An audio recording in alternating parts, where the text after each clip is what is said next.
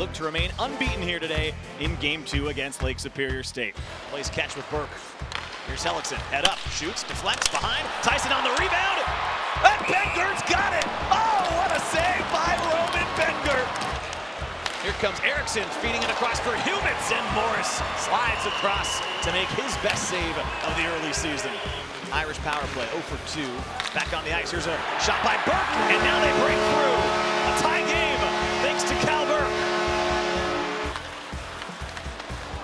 Burke right now has credit if they review. Oh, this could be a second one. It's in.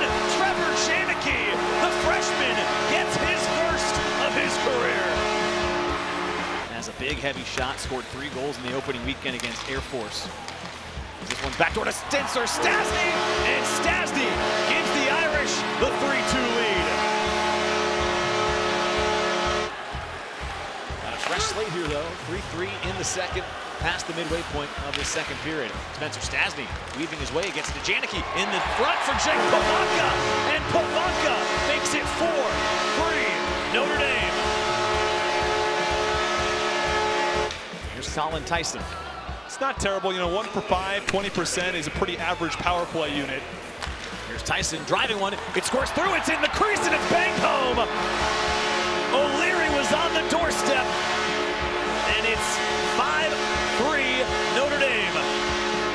Well defended that time by Oliver, able to hold him off. Centering feed in front. And it's Mike O'Leary once again. This pass deflects towards Nordquist. He shoots. Good block that time. And rebounds in close by Moudon. And Morris has to make the pad save.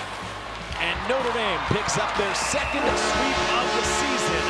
And they remain